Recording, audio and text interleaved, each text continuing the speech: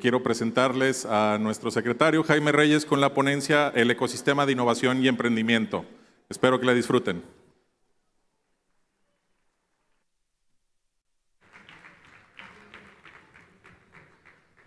Gracias.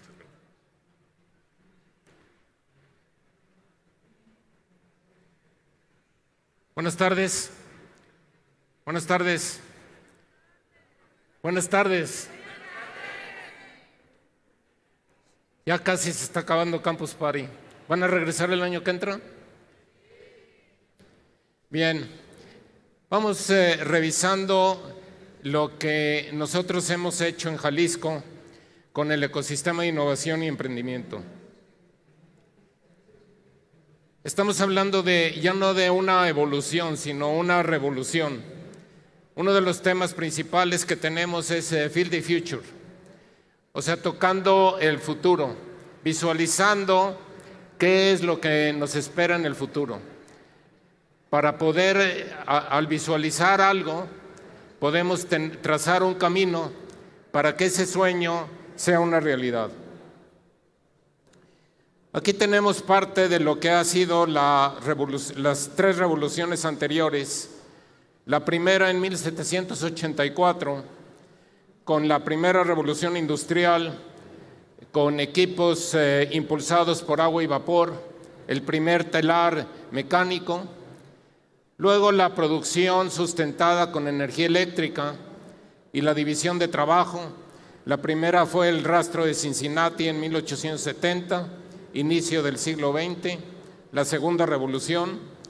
La tercera revolución fue el uso de la electrónica y las tecnologías de información para mayor automatización de manufactura, con el primer controlador, el PLC, con, eh, con, el, ah, PLC 084 en 1969 pero ahora estamos atestiguando la cuarta revolución industrial. Y esta cuarta revolución industrial tiene dos características principales. La primera, inteligencia artificial en producción. Las líneas de producción que tenemos actualmente pues van a quedar obsoletas. Entonces hay una gran oportunidad para todos ustedes de con inteligencia artificial cambiar la manufactura a manufactura inteligente hay dos factores importantes aquí que están impulsando la cuarta revolución. Una es los dispositivos móviles con iCloud. Entonces todo lo que ustedes pueden desarrollar con dispositivos móviles mandando información a, iCloud. Y la segunda es computación cuántica. Por muchos años eh, eh, vivimos con la ley de Moore en donde cada 14, 16 meses se aumentaba el performance de las computadoras a casi a la mitad de costo. Pero esto tiene un final. O sea, físicamente esto tiene un final. O sea, ya no, ya no podemos estar eh, basándonos en, silicio eh, por el espacio físico. Ahora tenemos que ir a computación cuántica y cuando tenemos computación cuántica, nosotros llamamos también computación infinita. O sea, ya no hay ninguna, ninguna barrera que nos impida estar desarrollando eh, en base a computación. Estos es eh, algunos de los aspectos que quiero revisar con ustedes. Hace en cinco años el acceso al talento global con clase media en aumento. Quiere decir que ya no tenemos que restringirnos a la fuerza laboral y mental eh, in-house o dentro de una organización, sino tenemos que tener un acceso a nivel mundial. Entonces, ustedes que están desarrollando pueden tener acceso a las, a las mejores mentes del mundo y pueden iniciar un, negocio que antes, hace 10 años, tomaba aproximadamente quizá tres meses. Ahora lo podemos hacer quizá en cinco minutos. Entonces, con el avance de tecnología, la tecnología se está democratizando. Eh, calculamos que México puede estar perdiendo entre 140 mil y 200 mil empleos en los próximos tres o cinco años. Esto puede ser dramático si no nos preparamos ahorita para reemplazar esos eh, puestos de trabajo que son repetitivos y que van a ser reemplazados por robots. Pero tenemos que enseñar a nuestra juventud, a todos ustedes, de cómo montarnos en la cuarta revolución industrial. 65% de los niños que ingresan a primaria hoy trabajarán en empleos que no existen. No se han creado las empresas ni la tecnología que los niños de primaria van a estar utilizando en los próximos 15 o 16 años. En eh, los próximos 5 o 6 años se perderán 7 millones de empleos de oficina estos empleos son repetitivos. Los robots nos pueden reemplazar en trabajos repetitivos de una manera más eficiente que el ser humano. Pero nosotros tenemos que migrar a niveles de intelecto más altos para tener una mayor contribución en producto y servicio eh, de alto valor. Calculamos que en Jalisco podemos estar perdiendo entre 35 mil y 50 mil empleos. Eh, la meta para estar creando empleos por año es aproximadamente 60 mil. Quiere decir que si perdemos 50 mil empleos en los próximos tres o cuatro años, esto va a ser un problema no solamente económico, sino social y político. Entonces es la urgencia de montarnos en esta cuarta revolución para enseñar a nuestra juventud las nuevas tecnologías que van a cambiar el mundo o ya lo están cambiando. Estas son algunas de las eh, habilidades que ustedes, eh, muchachos, tienen que estar eh, aprendiendo. Ya no lo tradicional. Yo diría que lo que está en 2015, en dos años va a ser conocimiento tradicional.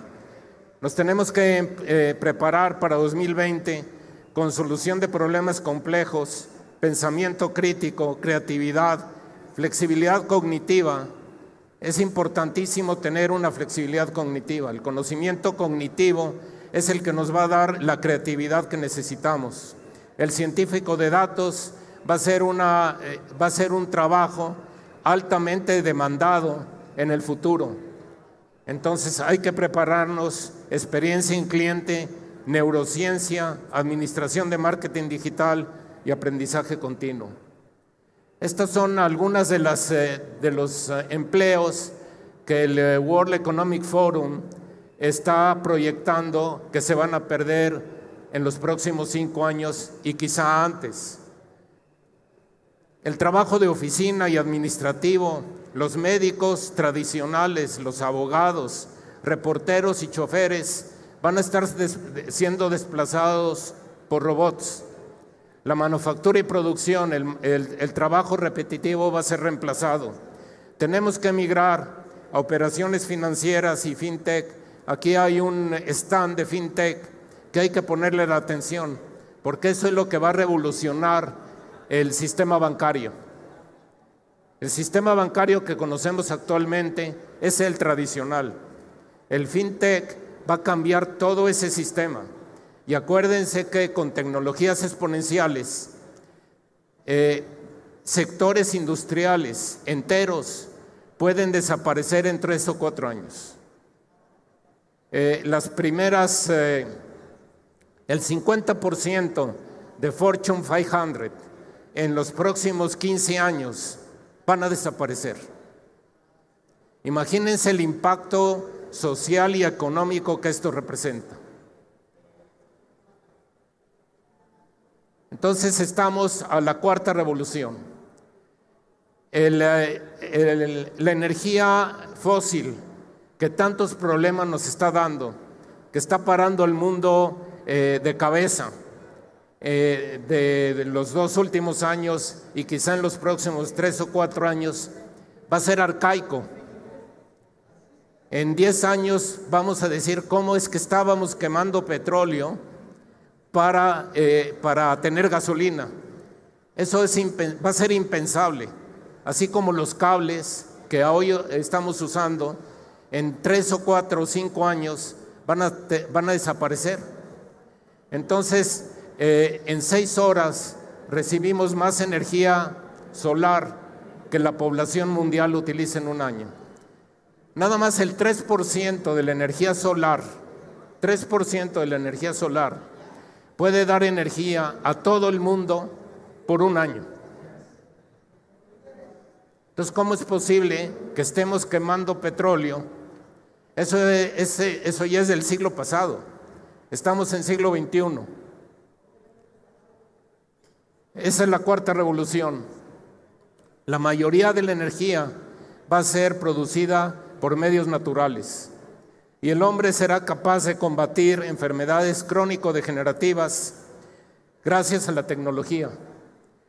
los, antibióticos que, le, que matan a prácticamente todas las células y que no sabemos eh, las consecuencias complementarias que eso está causando al, ser humano. También eso es arcaico. Vamos a tener que evolucionar a una medicina personalizada. Estos son algunos de los pensamientos. Ahí está Peter Drucker, que la prueba de una innovación no es su novedad, ni su contenido, ni el ingenio de la idea, es el éxito del mercado. Por eso una innovación se queda en invención si no es comercializada. Entonces ustedes muchachos que están desarrollando tecnología, no la desarrollen solamente por la tecnología propia, piensen en las necesidades de mercado, empiecen con mercado, que es el market pool, no el technology push.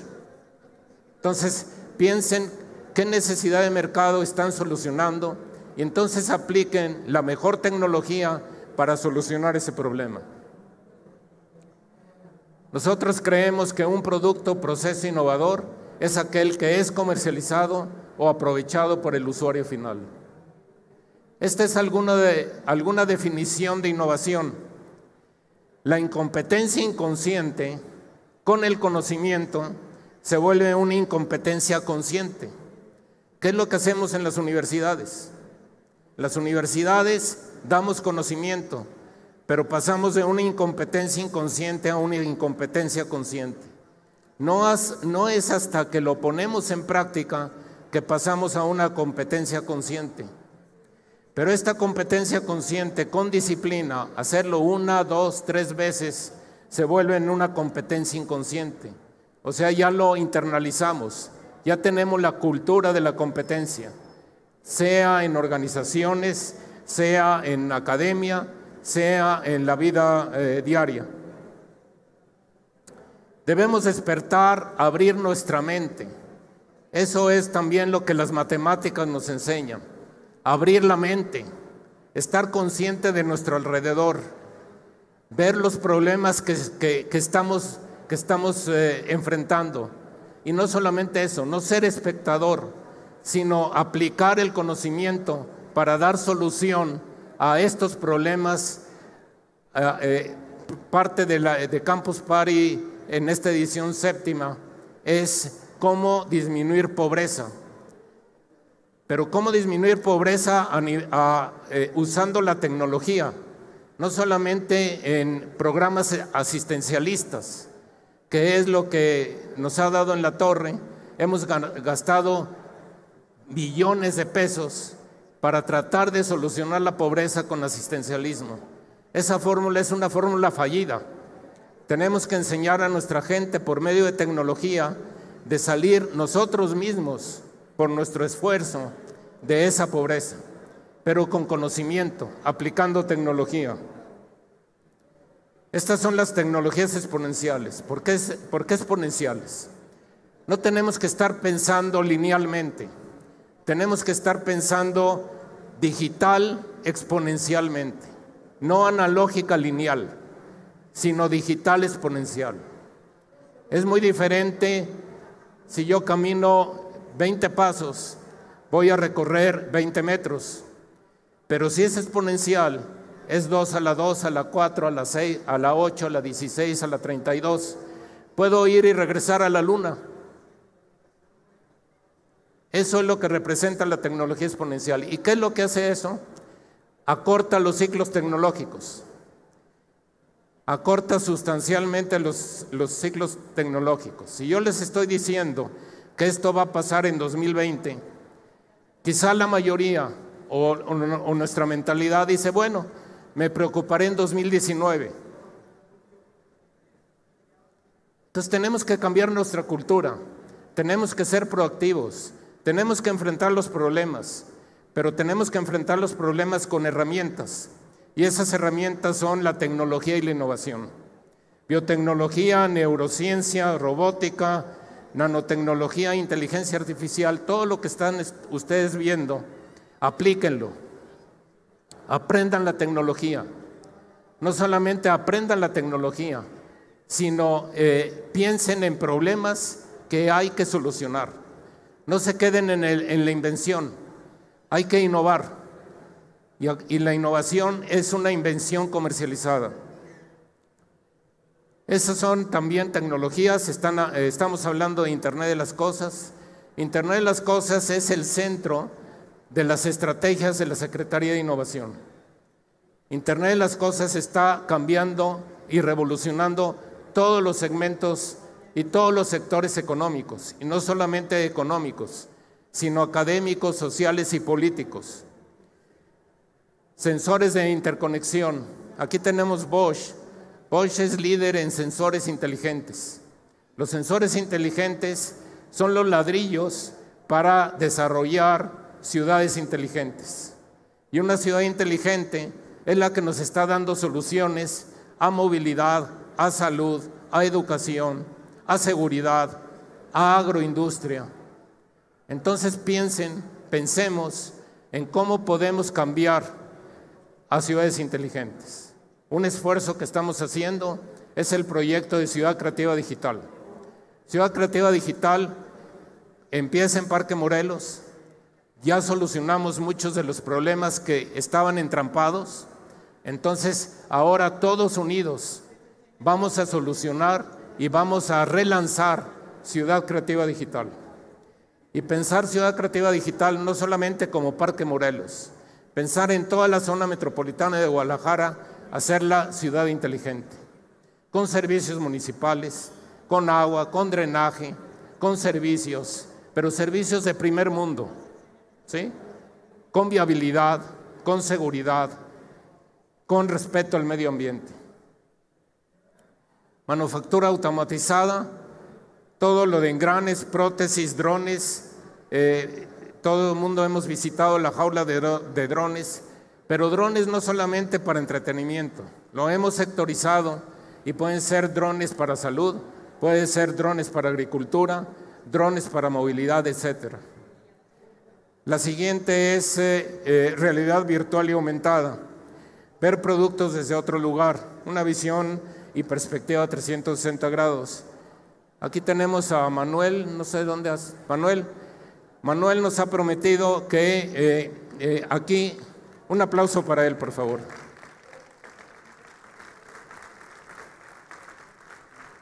Manuel ha regresado a Guadalajara porque cree en México, cree en Guadalajara. Y con él vamos a hacer el centro de realidad aumentada más grande de Latinoamérica. Tenemos que pensar en grande, no solamente quedarnos en la ciudad, sino ser líderes nacionales y líderes internacionales. Impresión 3D. Podemos tener materiales avanzados y alimentos en casa. Estas son las organizaciones exponenciales.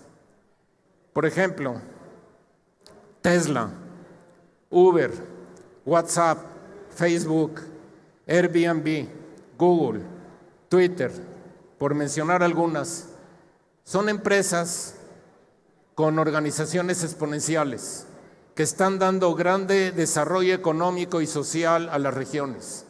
¿Por qué no tenerlas en México? Ya tenemos dos, 3D Robotics, Inmersión, la, la empresa de Manuel.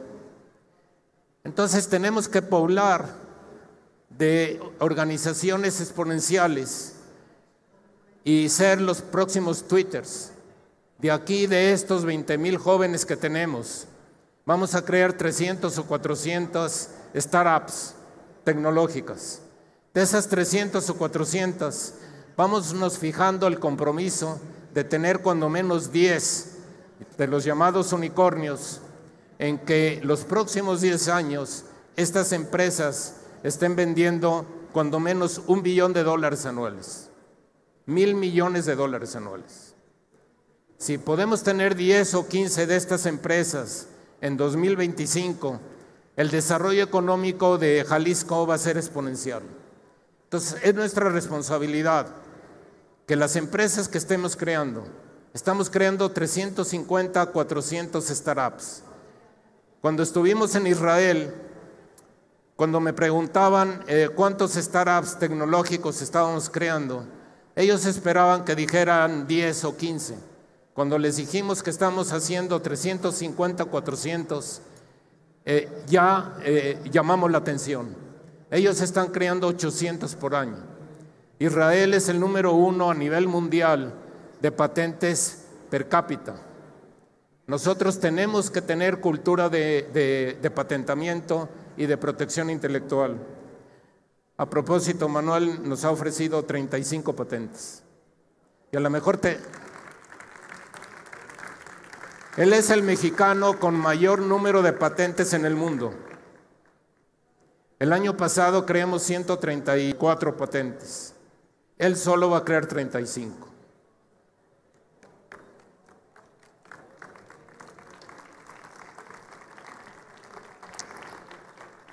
Estas son las tres columnas de la Secretaría de Innovación.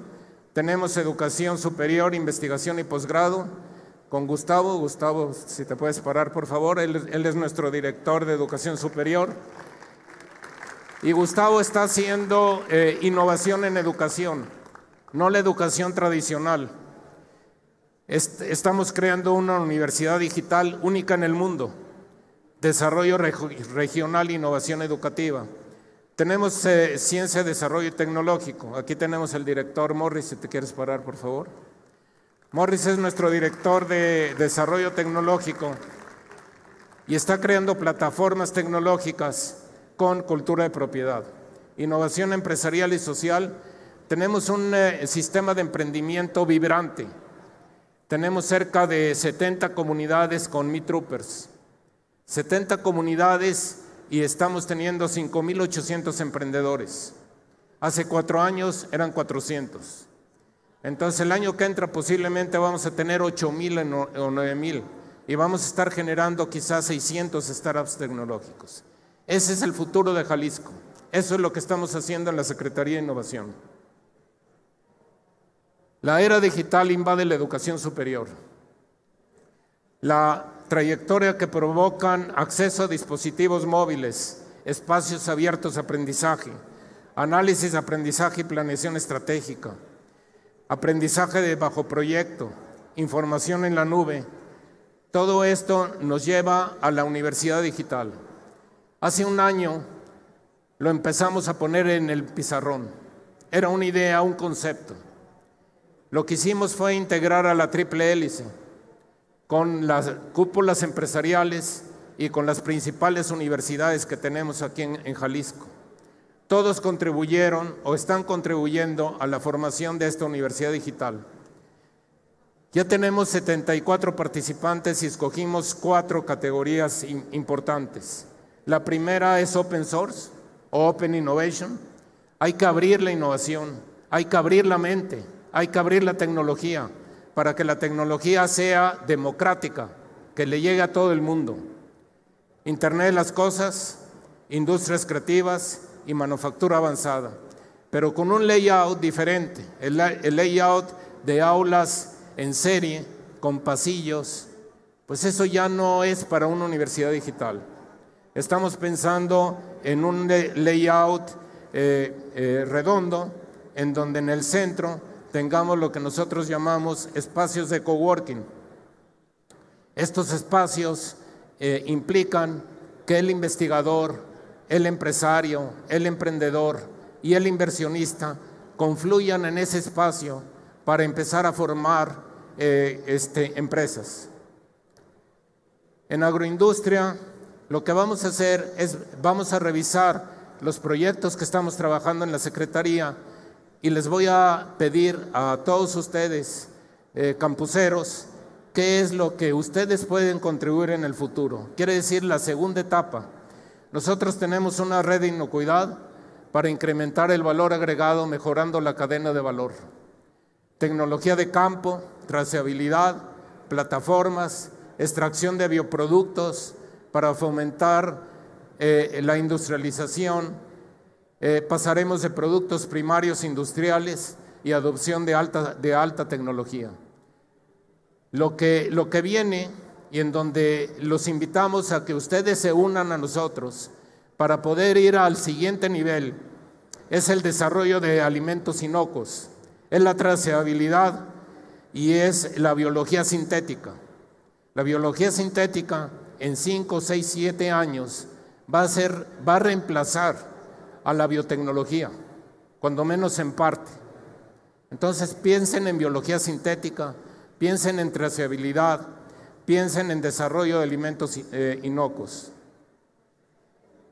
En agroindustria, si tenemos, ustedes eh, están familiarizados con cadenas de valor. Eh, eh, en, un sistema inteligente para agricultura de precisión y un laboratorio de seguridad alimentaria, todos estos productos ya los tenemos andando en la Secretaría. Pero si pensamos en sembrar, además de maíz y de trigo, Dustin, Dustin son microchips que se pueden ir sembrando en los campos, eh, en los campos agrícolas para eh, después mandar la información que captura el microchip a, cloud, hacer análisis de, datos o data mining y data analytics para después ir a eh, nutrientes bajo demanda. Quiere decir que estamos inyectando humedad, nutrientes orgánicos en la cantidad precisa, en el tiempo preciso. Esto nos generaría un ahorro enorme de desperdicio, tanto de nutrientes y de agua. Entonces, este es el futuro de, la agricultura. Esto es en lo que los invito a que ustedes empiecen a desarrollar empresas para que en 2017, 2020, no solamente estemos hablando de un sistema para la agricultura de precisión y un laboratorio de seguridad alimentaria. A lo mejor ya no los vamos a necesitar, pero tenemos que crearlos ahorita por el atraso que tenemos. Pero entonces piensen al futuro, piensen cómo revolucionar, piensen cómo podemos poner a Jalisco y a México en los primeros lugares en tecnología, en ciencias de la vida. Eh, tenemos un centro de pruebas preclínicas donde eh, estamos viendo traciabilidad para combatir eh, enfermedades crónico-degenerativas. Un centro de pruebas clínicas, preclínicas con animales, clínicas con el ser humano.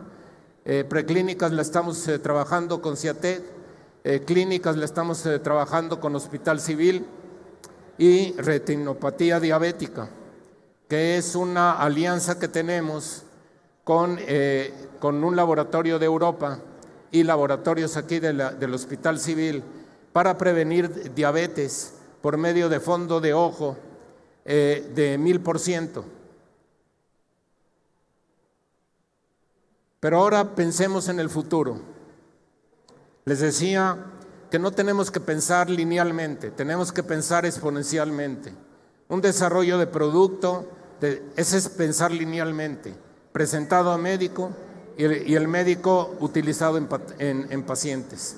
Ahora tenemos que eh, pensar en un living lab, en un laboratorio viviente, en donde sea ese desarrollo compartido, centrado en la edición del genoma humano. Eh, el ADN hace 15 años costó 10 trillones de dólares. Ahora el genoma humano o la edición de genoma humano está al alcance de nosotros. Puede costar 1.500 dólares. Esa es una tecnología exponencial. De 10, mil, de 10 trillones de dólares a 1.500 dólares. Entonces, ¿qué quiere decir? Que al conocer el genoma humano y editarlo, porque el genoma humano es como un, como un desarrollo de software, es un sistema de software. Cuando Dios eh, inventó el ser humano, a lo mejor hizo un sistema de, de software, ¿no? Pero entonces lo podemos editar. Como editamos un sistema de, software, podemos editar el, genoma humano. Pero al conocer nosotros el perfil de cada uno de nosotros, entonces ya podemos decir, este medicamento es para, para A, para B o para C. Y no, tener, y no tener tiros de escopeta a ver qué matamos y a ver a qué le atinamos. Entonces, eso se llama, o le estamos llamando, medicina de precisión o medicina personalizada. Entonces nosotros estamos haciendo un centro de innovación de medicina personalizada para tomar ventaja de esta tecnología y evolucionar eh, lo que llamamos ciencias de la vida. Entonces imagínense la bacteria como disparador de proteínas. O sea, inyectar una, una, una bacteria que induzca una proteína y esa proteína ataque células malignas. Análisis de datos de salud personalizada, órganos imprimibles. Estamos viendo impresoras 3D. Ahora podemos imprimir ahorita parte de, de huesos para prótesis, pero pronto podemos imprimir hasta un corazón o un páncreas. Entonces imagínense el adelanto que está ocurriendo. Y esto ya está en universidades. Tenemos que trabajar con ellos para ir a órganos imprimibles. Y no solamente eso, sino regeneración de órganos, reprogramación de ADN, eh, reproducción de redes de neuronas y sus conexiones, cómo reproducir el cerebro humano, cerebro humano que consta de neuronas y de dextritas, cómo aumentar la conectividad entre neuronas, a través de estas conexiones para, eh, para que las neuronas se reproduzcan y podamos también, que ya está también en laboratorio, reproducir el, el cerebro humano. La técnica precisa de ingeniería genética, la agencia de energía. Acabamos de lanzar la agencia de energía. Esta agencia de energía es única en el país. Estamos dando noticias en esta semana de proyectos únicos en el país, en México, que está cambiando la fase de Jalisco. Y estamos siendo innovadores y estamos siendo primeros lugares a nivel nacional. Aquí tenemos eh, dos, dos partes, la eficiencia energética y la generación de energía renovable. Por ahí está Sergio Medina. Si te quieres parar, Sergio es el director de la Agencia de Energía.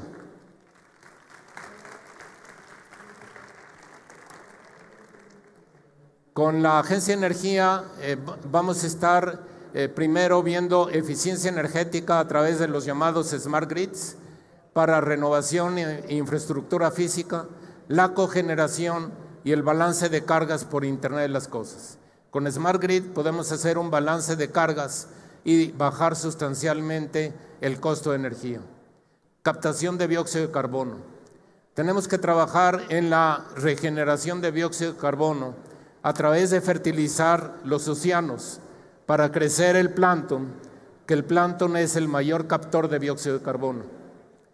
Eh, también en, eh, en eh, nanocristales estamos trabajando en un proyecto, Héctor, si te quieres parar, por favor Héctor es nuestro director del Tecnológico de Zapopan y trae un proyecto de nanocristales. Ahora que fuimos a, Canadá con Edmonton, para eh, con nanocristales eh, bajar la contaminación de los desperdicios del agave y del tequila y convertirlos en, en, eh, productos de alto valor. Vamos a estar trabajando también en generación de energía renovable con biomasa, solar, eólico, geotérmico, hidroeléctrico. El 80% va a ser solar.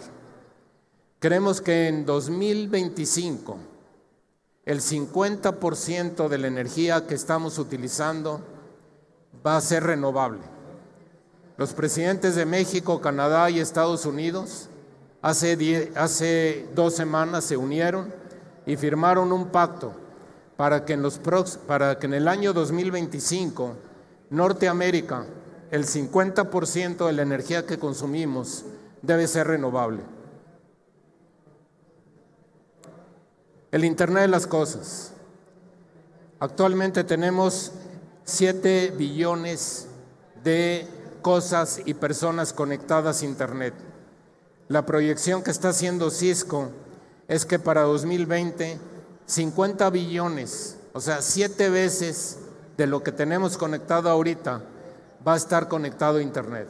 Quiere decir que esto es una tecnología exponencial. Prácticamente es exponencial. Imagínense 50 billones. Quizá eh, vamos a hacer una población de 8.5 billones de, habitantes. Quiere decir que vamos a tener aproximadamente unas 6 o 7 gadgets o cosas eh, conectadas a Internet. Imagínense lo que podemos hacer con eso. Industrias creativas. Eh, tenemos ya, como les mencionaba, Ciudad Creativa Digital. Por aquí está Carlos, Carlos Gutiérrez. ¿Salió? Bueno, Carlos es nuestro director de Ciudad Creativa Digital AC, que junto con Julio Acevedo, que es el nuevo presidente de Fideicomiso, vamos a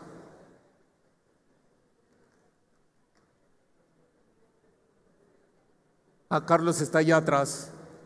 Bueno, junto con, eh, eh, junto con eh, Ciudad Creativa Digital, la C, y con el fideicomiso de Ciudad Creativa Digital, ya tenemos un plan específico que para el término de 2016 vamos a tener cuando menos unas 35 o 40 empresas en Parque Morelos o en el área de Parque Morelos. Tenemos el, el, el cuartel, lo que era el cuartel de la quinceava zona, que ahora es la, la eh, la Secretaría de Cultura, vamos a tener el cuartel creativo, ahí vamos a tener eh, un showroom, un Discovery Center, un Motion eh, Capture Stage, un stage de multiusos, un centro de datos, una granja de render y una aula de universidad digital.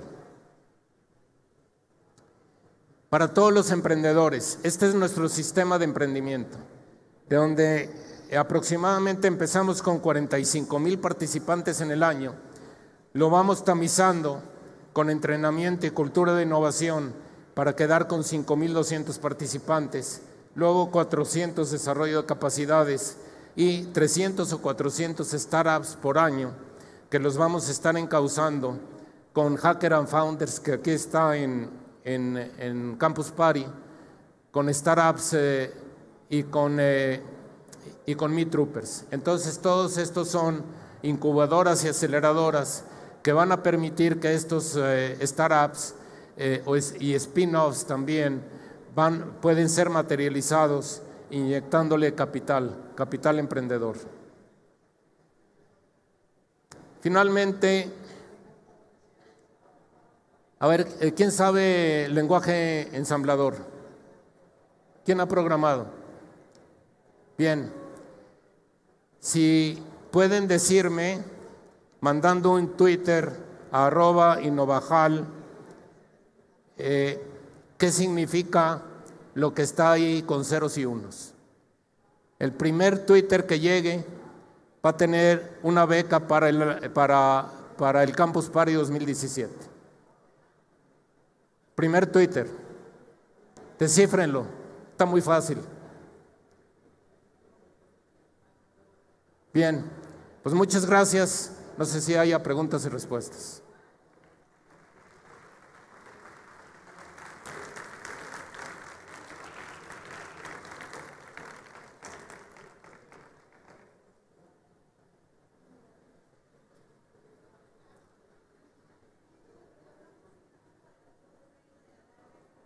Pasamos a preguntas, si tienen alguna duda o algún comentario.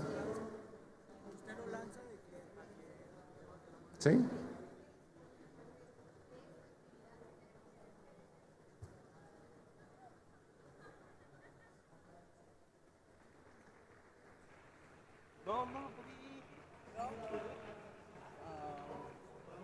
Preguntas.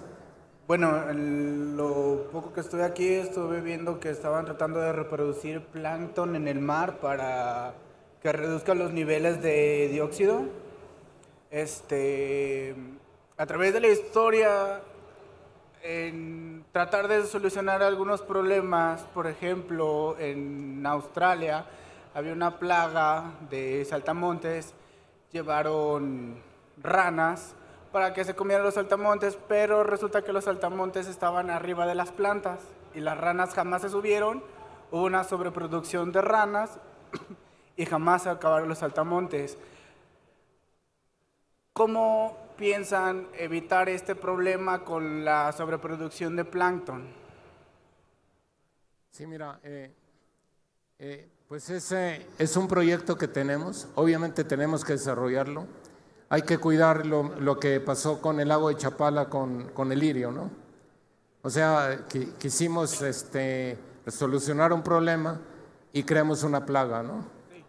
Entonces, sí, eh, este es, eh, o sea, no es fácil, si no ya lo hubiéramos hecho, ¿sí? Pero yo creo que es uno de los, eh, la idea es cómo captar dióxido de carbono por, por múltiples tecnologías, ¿no? Una de ellas es, esa. Pero toda aplicación de tecnología, que es una enseñanza que tenemos, tiene sus riesgos. ¿Verdad? Entonces, por eso, cuando creas una empresa, cuando creas una empresa, eh, la, mayor eh, eh, virtud que se tiene es la práctica. O sea, empezar con algo, empezar con un prototipo, ¿sí? empezar con un piloto en una zona restringida irlo refinando.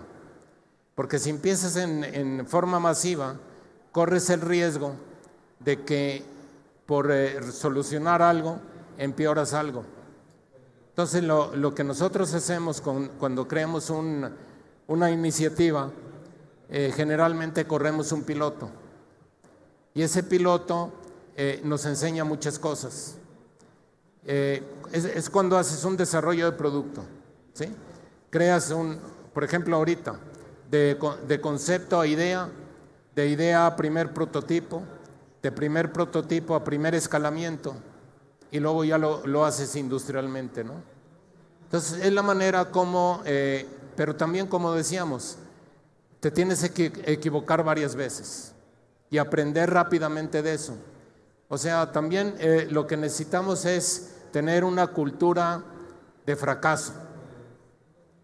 Actualmente cuando alguien fracasa es estigmatizado. ¿Sí? Y dice, no, pues no pudo, ¿no? ¿Verdad? Pero esa es la... Yo creo que se aprende mucho más del fracaso que del éxito. Cuando tienes éxito rápidamente, vas a fracasar terriblemente. Pero si vas teniendo fracasos, entre comillas, eh, de una manera controlada, entonces vas a llegar al éxito más rápido. Acuérdate, la creatividad se logra por las escaleras, no por el elevador.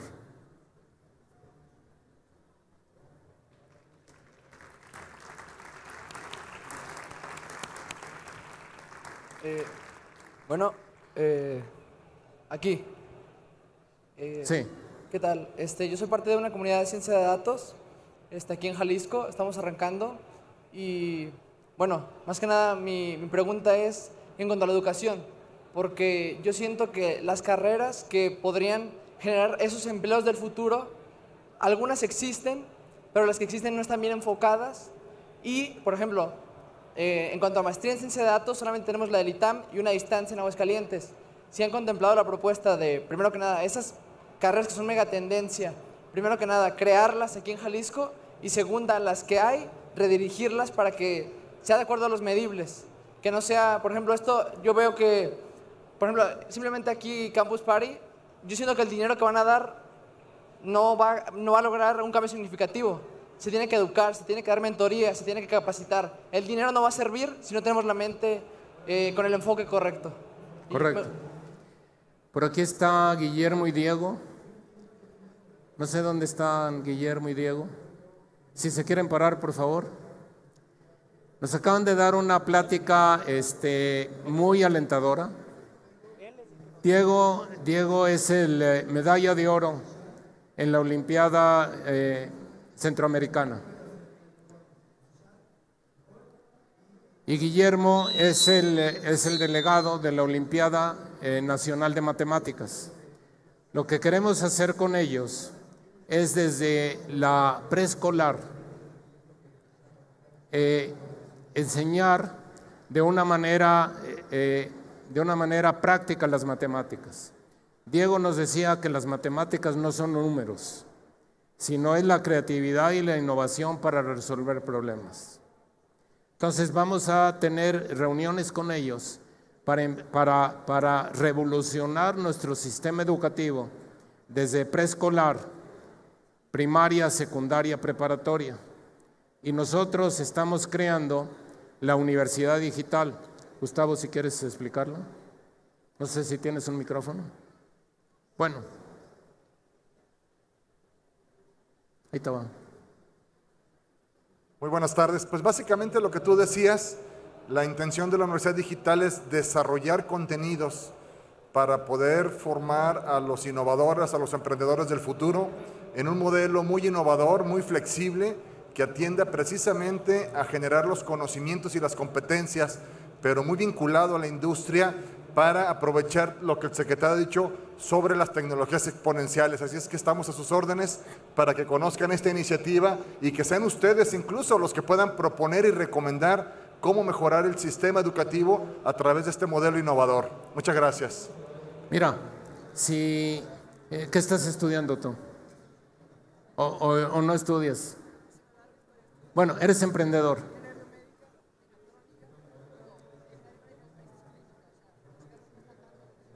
Bueno, mira, la Universidad Digital, eh, ahorita le estamos pensando no escolarizada, sino personas como tú, que ya han tenido experiencia en la industria, ya han tenido experiencia en crear empresas. Entonces, si te quieres especializar en una área específica, entonces ingresa a la Universidad Digital, que la Universidad Digital no conoce fronteras ni tiempos. ¿sí? Es un concepto que se aparta al concepto de la universidad tradicional. ¿sí? Ese es el principio de la innovación educativa que tenemos. La otra, la otra iniciativa que tenemos en educación, en innovación en educación, es lo que llamamos educación cooperativa. La educación cooperativa es que el 65% del tiempo del estudiante pase en la empresa y en la industria y el 35% en el aula. Quiere decir, bueno, cuando yo me gradué, pues yo ya quería trabajar y lo primero que me decía es, ¿qué experiencia laboral tienes?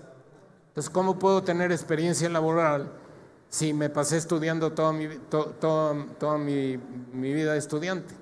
Entonces, el, objeto, eh, el objetivo es de que al estar estudiando también tengas experiencia eh, empresarial. Eh, la meta que tenemos al fin de este año es tener mil estudiantes en ese sistema. Mil. Ya no estamos hablando de 10 o de 50. Y eso es lo que provoca. el año pasado hicimos un piloto, nos fue muy bien. Pusimos 235 estudiantes y este año vamos a terminar con mil y con 52 empresas. Queremos ir a 10 mil para 2018. Entonces, eso, eso es una transformación en el sistema educativo.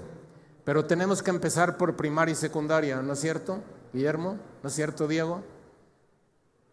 Eh, Diego nos decía que nos desesperamos porque en los periódicos nos eh, catalogan en los últimos lugares en matemáticas a nivel mundial, siendo que ocupamos el lugar 19 19, estamos en el top 20. Top 20. Y con este, esta alianza que estamos haciendo, estoy seguro que en 2020, 2025 vamos a estar en el top, en el top 10. Es el compromiso, ¿no?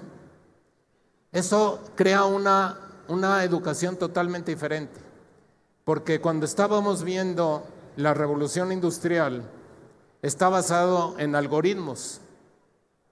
Si no puedes hacer un algoritmo, es muy difícil que crees una empresa. ¿Sí? Y el algoritmo está basado en matemáticas. Entonces tenemos que tener una, una, una educación de matemáticas muy fuerte. Los que estudiaron carreras que no necesitaban matemáticas se equivocaron, porque las matemáticas están en todos lados. ¿Sí? ¿Alguna otra pregunta? Sí. Hola, secretario Reyes. Ah, mi nombre es Martín Martínez. Soy ingeniero industrial de MIT en los Estados Unidos con enfoques en matemáticas y uh, ciencias computables. Y nomás lo quería agradecer por todo el trabajo que su administración y usted ha hecho. Um, yo he estudiado mucho cómo se hicieron centros tecnológicos y es algo que es muy difícil, pero en pocos años han hecho muchas cosas que va a tener un gran impacto en México. Y es de grande importancia porque si estudias la revolución de computadoras, si no puedes estar en esa ola de la siguiente tecnología, es la diferencia entre mucha pobreza y mucha riqueza. Entonces, ¿acaso yo estoy aquí este verano y tuve la oportunidad de o estar en Silicon Valley o estar aquí en Jalisco, pero ha sembrado o ha hecho, lo ha hecho muy fácil para sembrar semillas aquí, para que emprendedores o personas de diferentes lugares con diferentes talentos quieran empezar aquí y crecer, porque aquí es donde están los problemas. ¿Y acaso esta muchacha estudió ciencias materiales en MIT está haciendo una incubadora en Tepatitlán ahorita. Y esta muchacha está estudiando ingeniera, no industrial, pero civil, y ella se está enfocando en las estructuras de organizaciones en gobierno y la escuela y los emprendedores para crear un sistema para integrar ingenieros de MIT para que vengan a México y de diferentes lugares. Y yo me estoy enfocando en agricultura inteligente con IoT distribuida. Um, pero primeramente nomás quería agradecerlo por todo lo que ha hecho, porque es algo que si no han estado en este tipo de cosas, es algo que es muy difícil y pienso que es un hombre muy inteligente y que sabe cómo hacer las cosas. Entonces, es todo. Muchas gracias.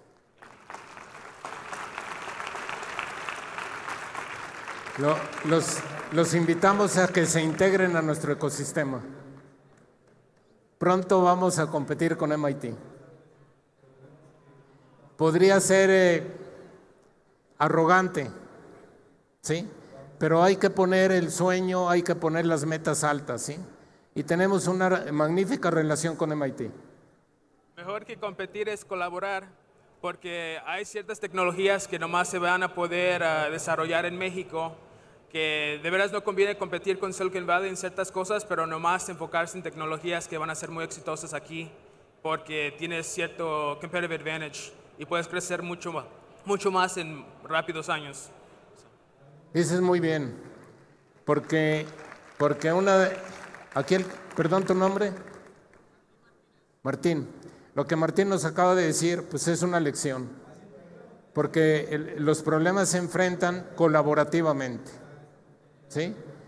O sea, no, no, no compitiendo siendo el mejor, sino de una manera colaborativa.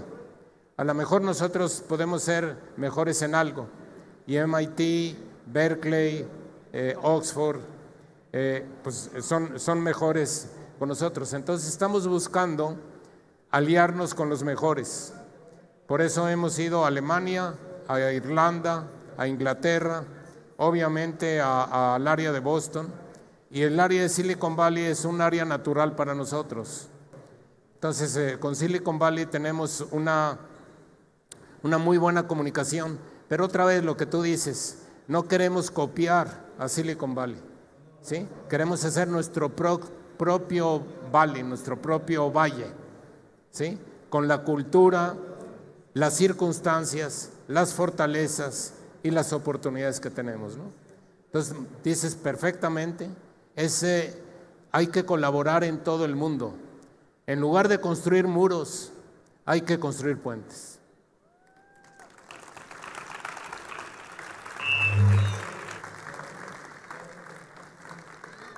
Nada más.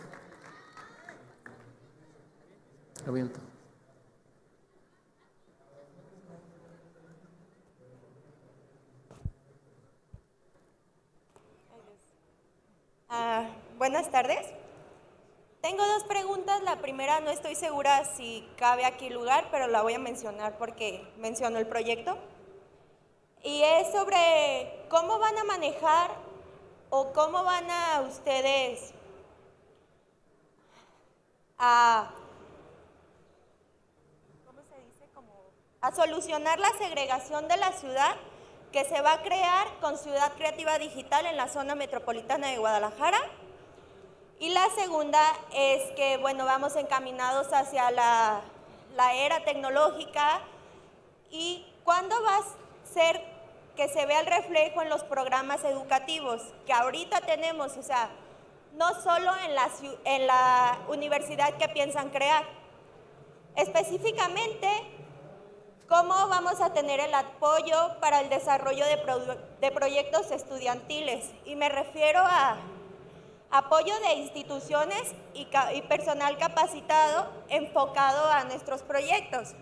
Porque, bueno, lo que he vivido hasta ahorita es que uno como estudiante tiene un proyecto, pero no siempre es certificado o aprobado por la institución porque lamentablemente o no se tiene el material o no se tiene la, capacidad para desarrollarlo. Y ya, muchas gracias. Bueno, mira, en, eh, para Ciudad Creativa Digital, efectivamente, ahorita nos estamos concentrando en el área de Parque Morelos. O sea, toda esa área la queremos eh, tener como una zona de eh, medios creativos. Eh, tenemos que tener alianzas estratégicas, una de las cuales es con Valero. Eh, si te puedes parar, Ángel. Ángel es el director de Valero. Valero es una empresa que firmamos un convenio con ellos para estar en, en continua colaboración precisamente entre Silicon Valley y nosotros. Y uno de los temas es medios, medios eh, creativos. Eh, las, primeras partes de Ciudad Creativa Digital va a ser eh, impulsar la industria nacional y jalisciense. Porque luego me preguntan cuándo viene Pixar y cuándo viene Walt Disney. ¿Sí? Está bien que venga Pixar, Walt Disney o, esas empresas, pero lo que más nos interesa es desarrollar la industria creativa eh, de, Jalisco, la que tenemos. Y la que tenemos es una industria eh, muy importante. Hay muchas empresas que ya están desarrollando animación y videojuegos eh, que son muy creativos pero nos falta eh, el capital. Entonces tenemos que ir a buscar capital no solamente estatal y federal, sino internacional. Y lo que representa esto es una vez que presentemos proyectos, estos proyectos pueden ser financiados a nivel internacional. Y otra vez lo que nos decía Diego, este, eh, es de que eh, ese es colaborativo. Tenemos que estar eh, trabajando con otras empresas de otros países para que esto tenga este, mayor velocidad.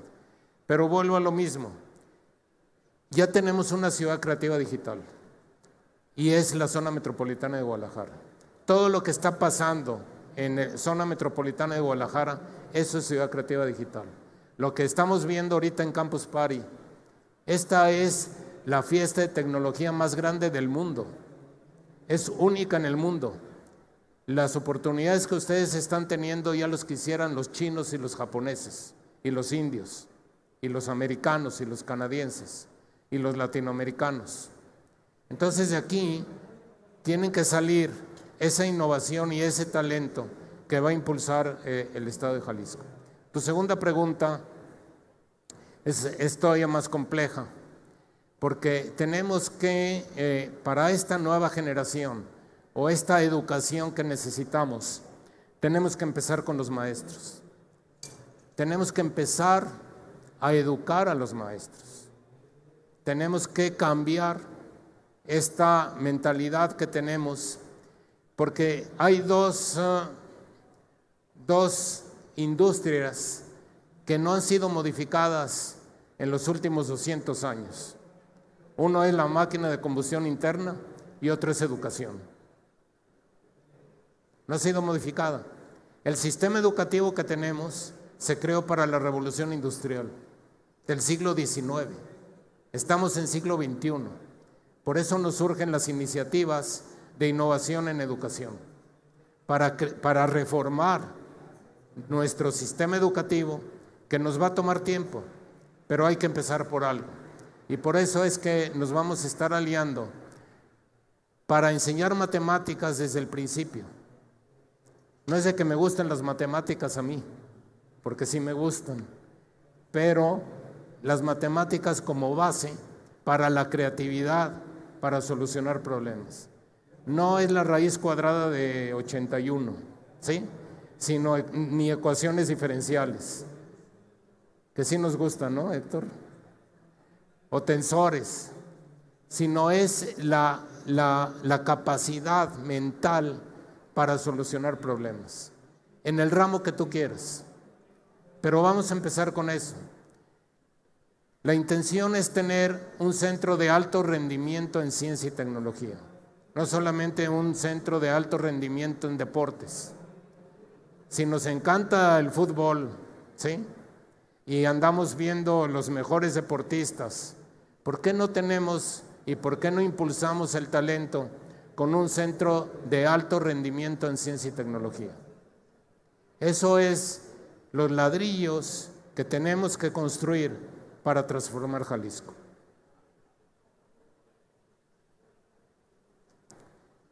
Si no hay más preguntas, les agradezco mucho el tiempo y los invito a creer en Jalisco, a recrear Jalisco, al poner a Jalisco en los primeros lugares a nivel internacional.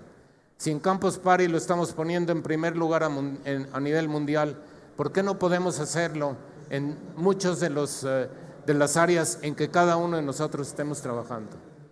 Pensemos diferente, pensemos paradigmas, quitar inercias, revolucionar, evolucionar, creer en Jalisco. Gracias.